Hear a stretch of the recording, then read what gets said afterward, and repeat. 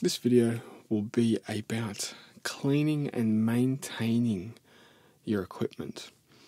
When you're using your equipment on location, you'll find that it's very easy for it to get dirty, especially outdoors and in certain types of environment. So here in this room, things aren't going to get too dirty because you're indoors.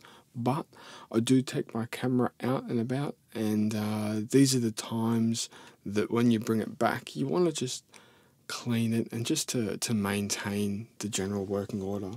So just to let you know, dust is a very big killer of computer systems. Uh, this is something that I'm familiar with. So, just cleaning the dust around your camera, trying to prevent it from getting inside your camera is very important.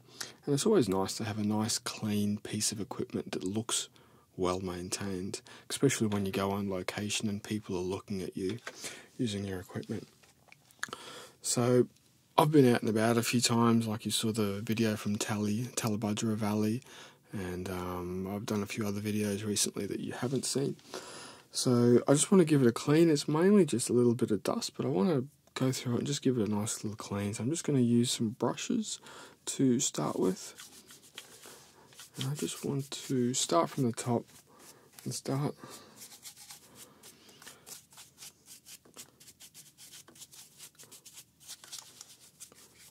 cleaning all of the dust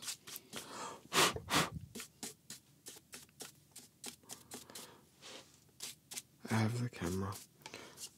So, one of the things that will make your camera look aged is the screws.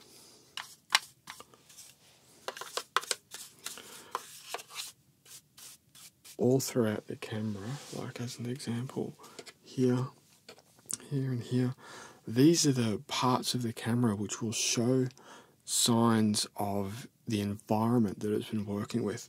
So the screws in your camera, especially around here, around the microphone plugs, will be the first place that will show signs of corrosion if it's been used in a corrosive environment.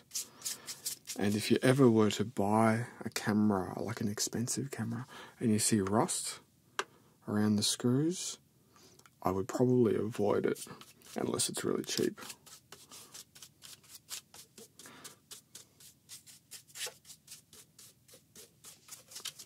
So I'm just going through cleaning all of the dust.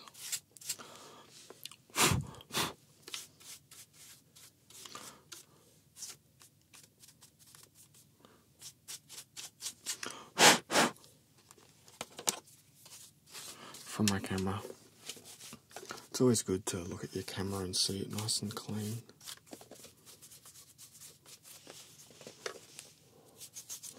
So with my camera, these are my um, volume controls. So when I plug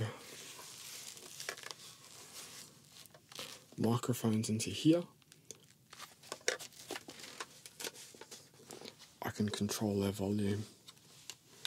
And then I've got more input buttons, uh, microphone power, and then you've got a few other settings here to change some of the way it records video.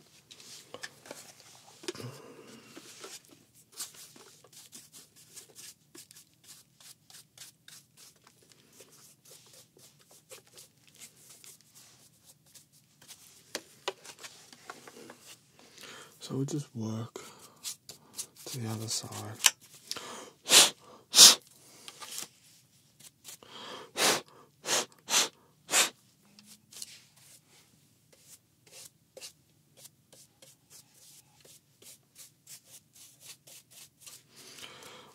Of the locations which I don't like taking my cameras is the beach.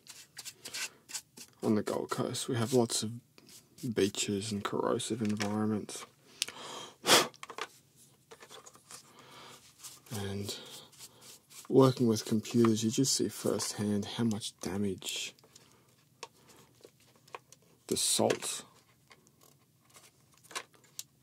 and the corrosive environment we live in here on the Gold Coast can cause to electrical equipment. Just to give you a quick rundown on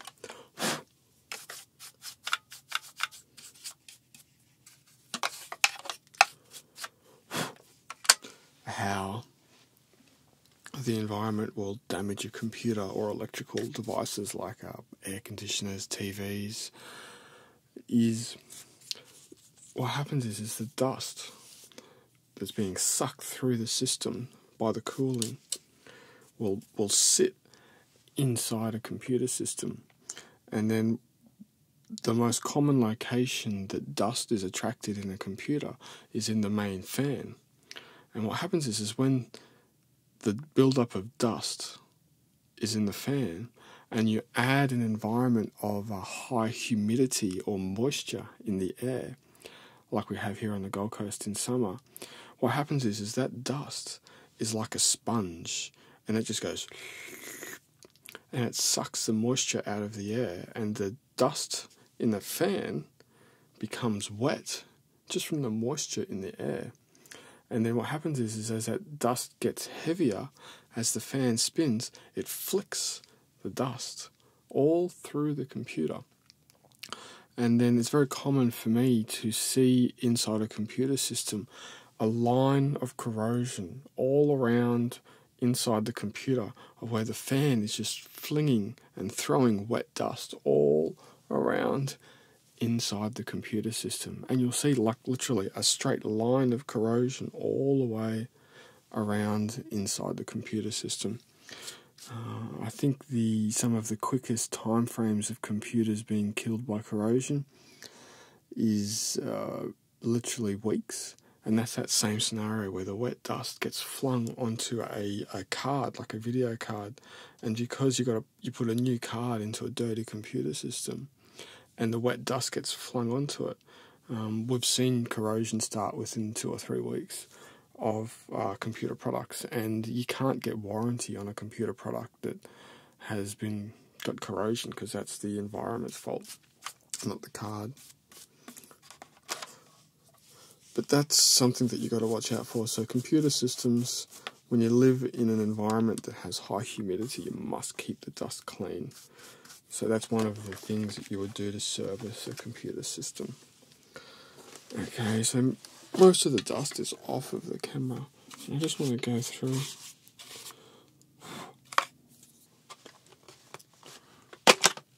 And clean around here. So the lens of the camera is by far the most delicate part and you must be very careful. So I just have a little lens cleaning pad on the end of this. I'm just very gently cleaning the dust off my lens.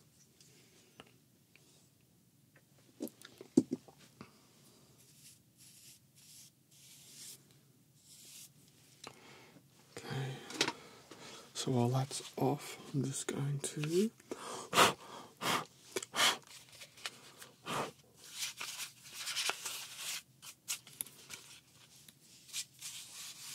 my lens. A little bit of a clean and that's the part that goes with it so you can see why it's so big now. So while it's off I'm going to start using the wet rag to give this a nice clean. So this is uh, a moistened piece of cloth. I've uh, wrung all the water out of it so I won't have any problems with any moisture. It'll all dry out fine.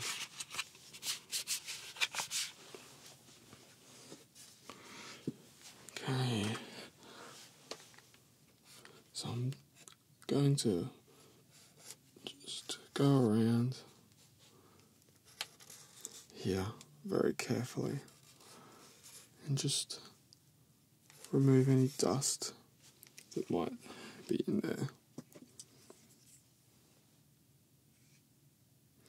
And I've just touched the lens a little bit with the wet cloth. which is something you really want to avoid.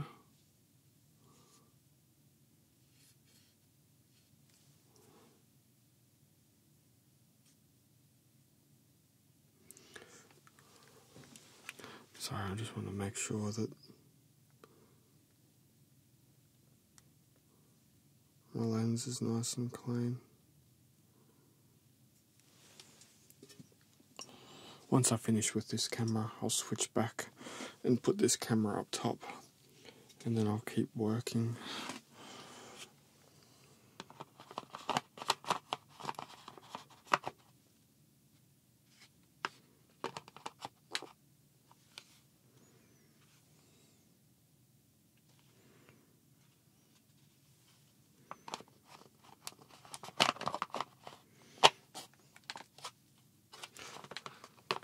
guess it helps if I put it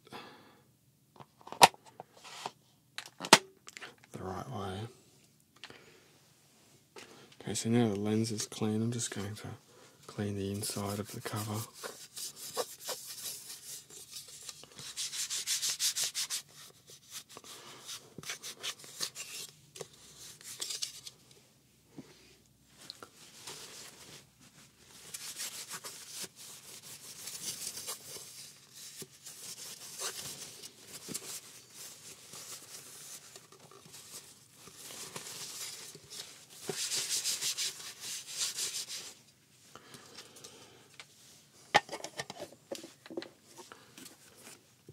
Okay, so one of the parts which is hard to clean are some of these rubber rings.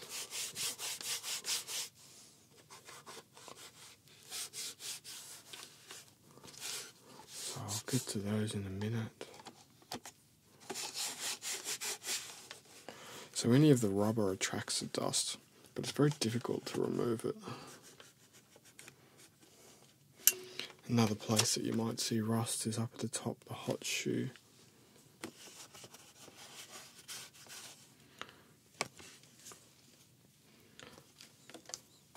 So I don't do this very often, so just try and do a good job.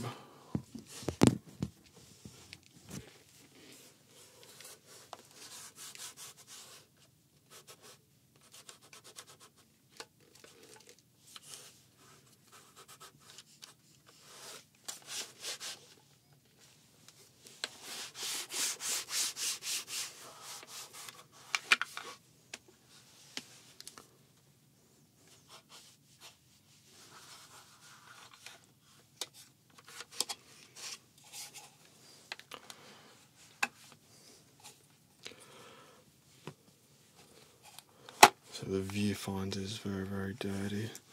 So I'm going to just spend a little bit of time just trying to clean it up the best I can. Give it a nice clean. will help it to look its best.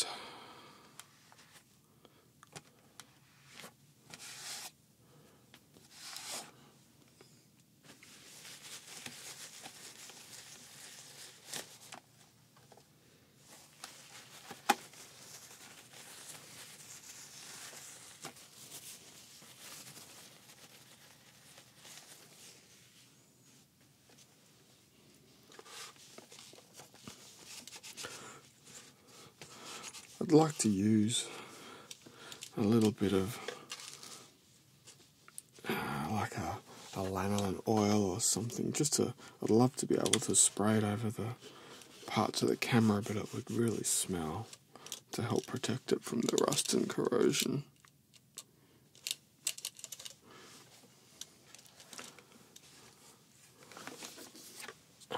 So now I will work just a little bit at a time.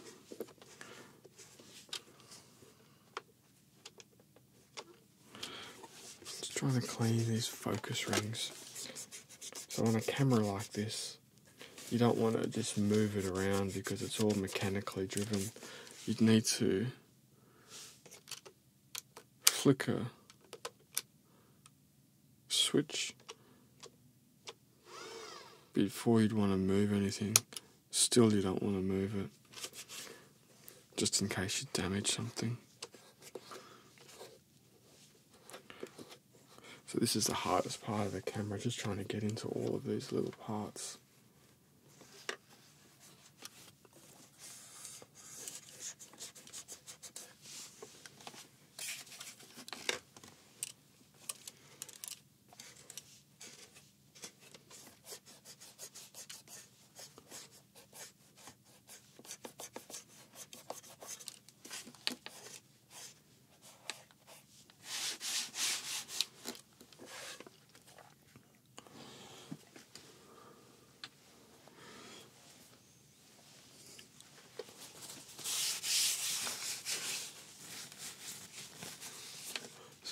Camera's looking much cleaner now. Not that it was really dirty before, but it was just something that really needed. Just to clean some of the dust out of it, just to help maintain it. You'd be surprised how important just regular cleaning can be for the maintenance of electrical equipment. Also, the appearance is much better once it's been cleaned.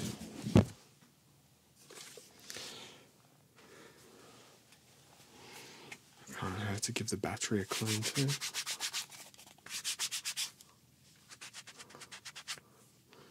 You can just see all the dirt and stuff.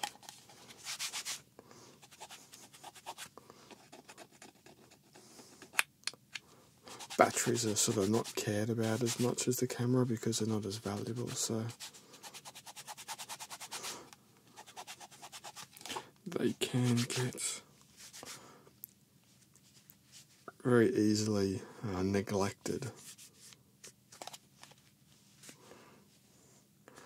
But you wouldn't want dirty contacts in your battery to cause you any problems. to your camera, so I'll just give the contacts a little bit of a clean. So that's one of my batteries, so got a little button here to indicate how much battery level's left in it. But it's very handy having a battery this size. So this battery will keep my camera powered for about four hours. Um, that's one of the reasons why I chose my camera. because you can literally just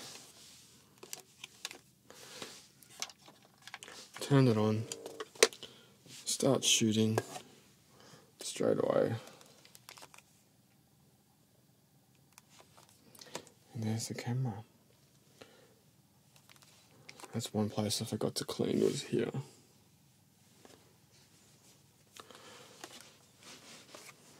Turn it off. And I'll just quickly clean the viewfinder. It's disgusting. Really, really bad. Because the viewfinder is something you're always handling and touching. And I hate cleaning viewfinders because you're scared to scratch it or damage it.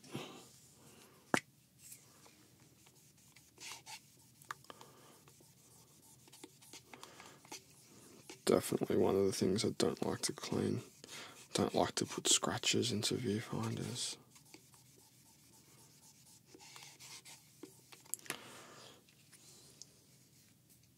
Okay. Okay, I'll switch cameras over and I'll continue cleaning some of my other equipment. So now we're back to the big camera. Um, hope you enjoy this uh, painting that I've got in the background. So uh, when I saw it, I quite liked the uh, the image itself. So it's like an old vintage poster. North Coast Limited, the Montana Rockies. So I thought you'd like that one.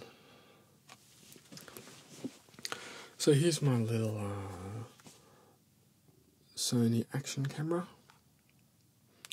Don't mind me, I'm just looking in the viewfinder of my big camera just to check it's okay.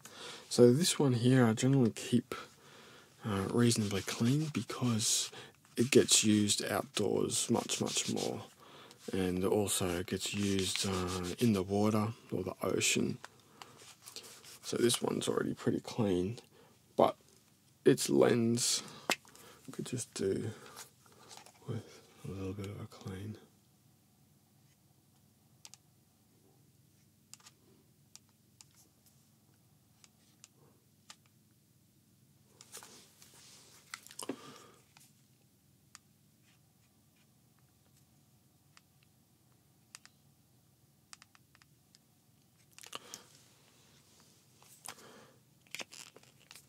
Okay, so that's the camera sorted, and that's its uh, waterproof housing.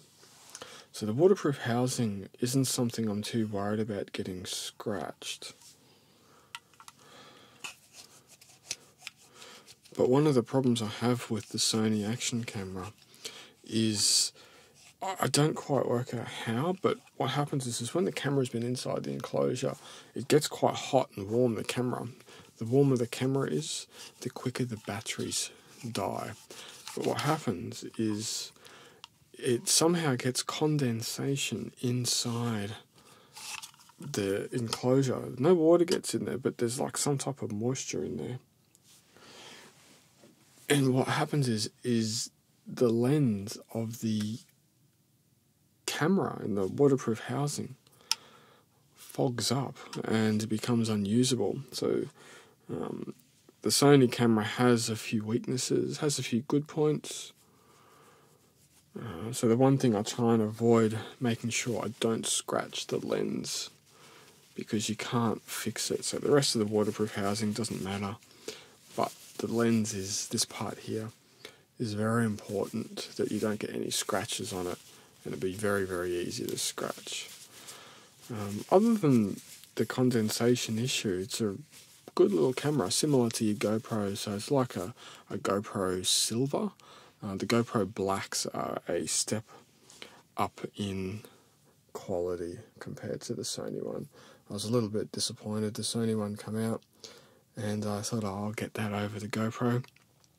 And then a week later, the GoPro, the new GoPro's announced. So GoPro probably one step ahead of them, and we're just waiting. So what I'm going to do here is I'm going to clean around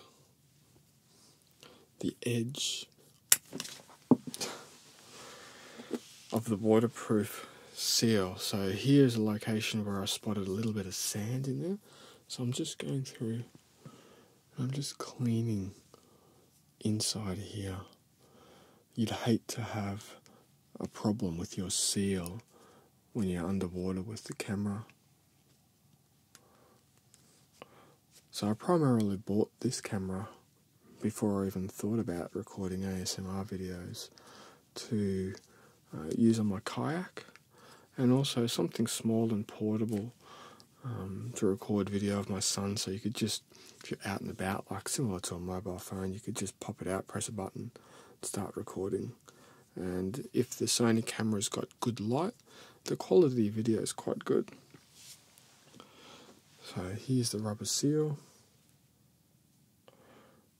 So I'm just going to gently clean any dirt out of that. And then we're going to just gently, without trying to twist it, put it back. So you just want to make sure that the rubber seal is seated all the way around.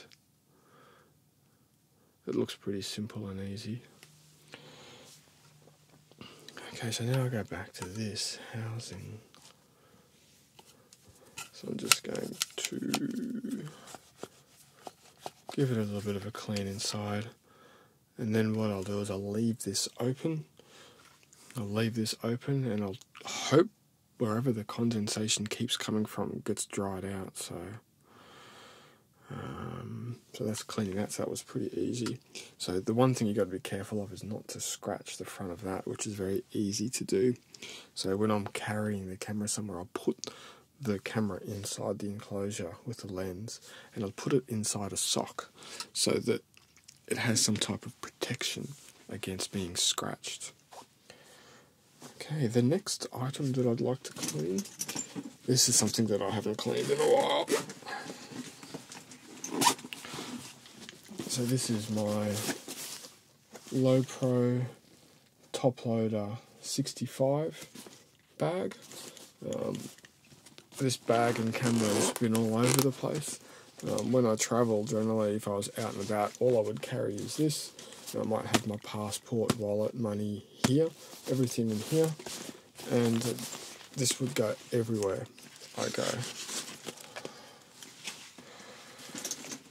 Alright, so this is my Canon 40D. I purchased this, wow, it must be like seven years ago or something.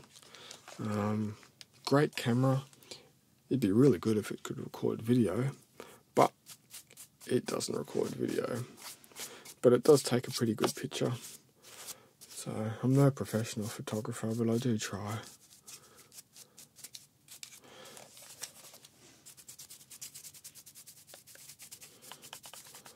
So we start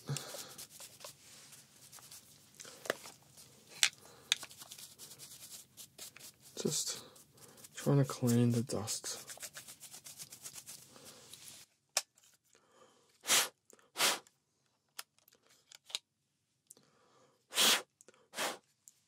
So again, we're just trying to clean all the dust out of it.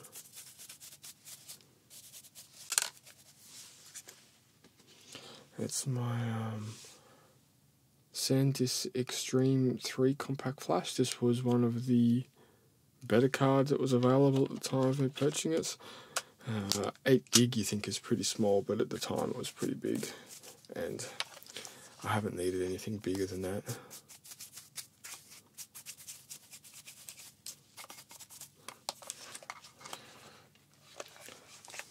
So I've just got my uh, cheap 50mm lens on there at the moment. Um, I've only got the lens that it come with, which was the 17 85 EFS lens, but it currently is broken. There's a little ribbon cable inside the lens, and I believe it's broken. I've ordered the replacement cable, I've got the replacement cable, and I'm planning on replacing it, but it's not an easy job and not being at work at the moment, I don't have direct access to a good soldering iron. So I was planning to record a video to show me repairing the lens. Um, it can be a very, very big job. Repairing the lens. And I'll bring this camera down a little bit.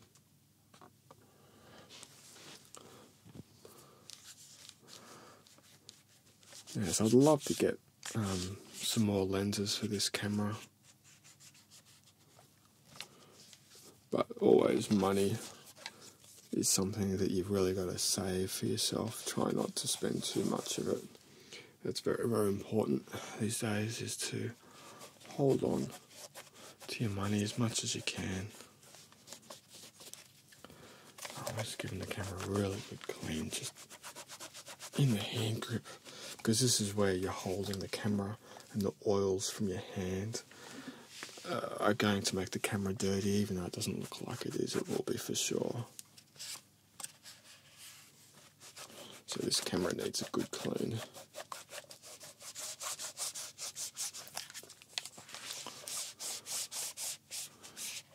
So one day when I get more money, I'll probably try and upgrade to like a 7D or something like that, but that'll be a while away.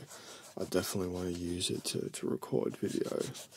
The quality of the video from the digital SLRs is very, very high. All of the video cameras are now using the same type of sensors as the digital SLR cameras. And um, I like the Canon cameras, you know, Canon and Nikon and all the other brands are all pretty good. But you, you might have certain preferences on the brand of camera that you might want to use. So something I probably should have done at the start was just pull out the battery. So I'll just very carefully just pull out some of the dust in here. And now I can get into the switch a little bit better.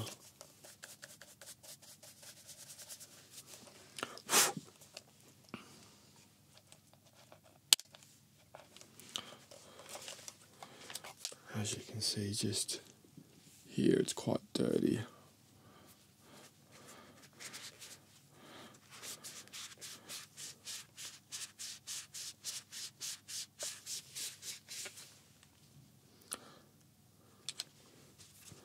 Now it's starting to look better already.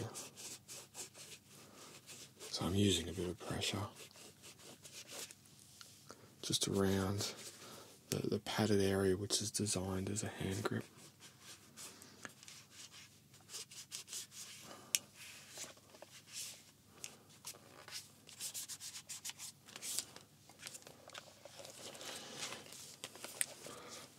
As I'm doing this, I might just put a slideshow of a few different pictures that I've taken in some of my travels. Alright, so now it's looking quite clean. I'm just going to go through, just using a tissue, just to dry any moisture that might still be there. I think I forgot to do.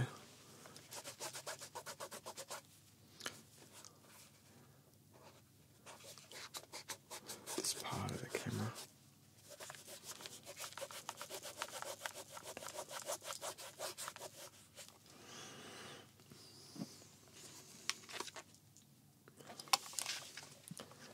And there's a little bit of dust in here I forgot about, which I'll just try and clean out.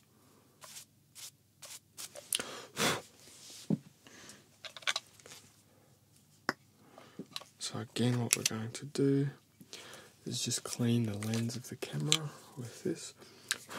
And it's looking just a little bit of dust on there. So we'll just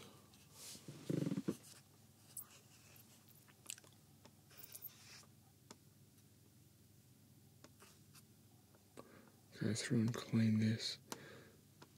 So I bought this camera in Hong Kong many, many years ago. And I bought the little lens with it at the same time. So the little 50mm 1.8 Canon lens is a um, great lens for the money. You can take some quite good photos. But as always, the Canon L series and some of the other lenses are really, really good as well. So I'm quite a big fan of the Canon cameras, always liked the Canon cameras.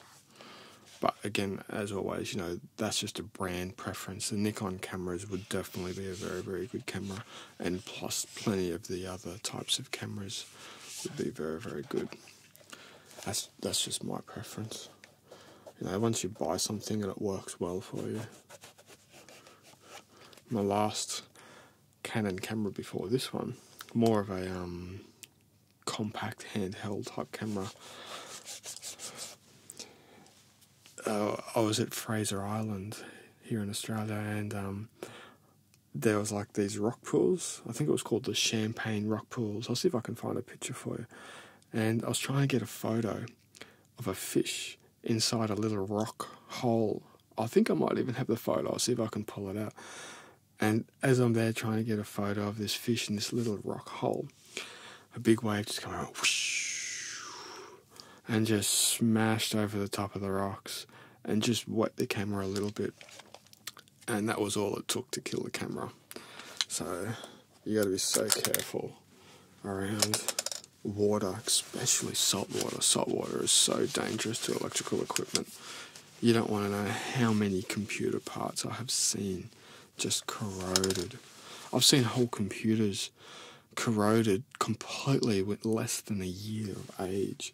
Um, we would have computers come into the shop in the in the wet season or the summer season, and they would be dripping water inside the computers, and you'd see like like corrosion marks of them of where the water would run down inside the the computer. All right, I think we're good to go.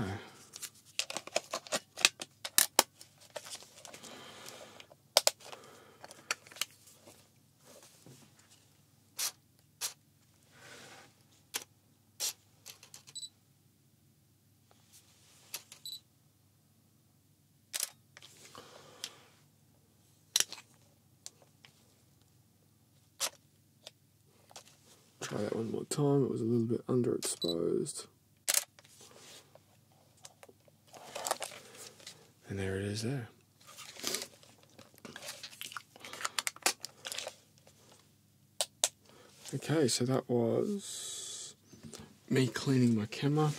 And I'll probably go through and give this a bit of a clean as well. So that was a um, quite a long video of me just going through and cleaning my cameras so um, you can kick back and relax and listen to the sound of my voice and I hope you enjoyed just seeing some of the equipment so um, that was my big camera so that's my pride and joy at the moment it's uh, great for video my little Sony action cam very very handy little camera to have and if you've got good light like in here the quality of the video is quite good and something I've uh, enjoyed very much is my Canon still camera. So I might try and put a few pictures as a bit of a slideshow after this video so you can see some of the photos that I've taken with it. Thank you.